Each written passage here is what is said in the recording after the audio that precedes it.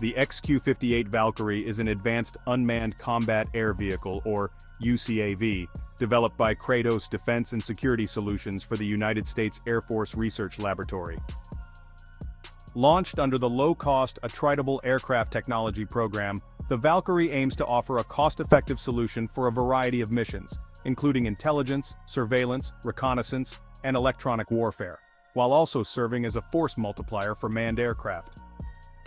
One of the standout features of the XQ-58 Valkyrie is its affordability. Designed to be an attritable aircraft, meaning it is intended to be relatively expendable, the Valkyrie significantly lowers production and operational costs compared to traditional manned aircraft. This cost-effectiveness is achieved through the use of innovative manufacturing techniques and materials, as well as simplified maintenance requirements. The goal is to produce a fleet of these drones at a fraction of the cost of conventional fighters, making it feasible to deploy them in large numbers. Technologically, the XQ-58 Valkyrie is highly advanced. It boasts a range of up to 2,500 nautical miles and can operate at altitudes up to 45,000 feet. The aircraft is designed to be stealthy, with a reduced radar cross-section that makes it harder to detect. Its modular design allows for various payload configurations, including sensors, weapons, and electronic warfare systems. This adaptability ensures that the Valkyrie can be tailored for specific missions, enhancing its versatility on the battlefield. The Valkyrie is also noteworthy for its autonomy.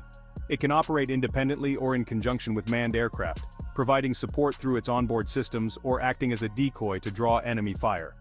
The UCAV is equipped with advanced artificial intelligence and machine learning algorithms, enabling it to make real-time decisions and adapt to changing mission parameters without direct human intervention.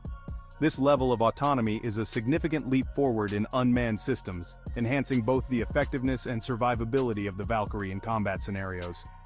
Overall, the XQ-58 Valkyrie represents a significant advancement in unmanned aerial technology. Its blend of cost-effectiveness, advanced capabilities, and operational flexibility makes it a critical asset for modern air forces.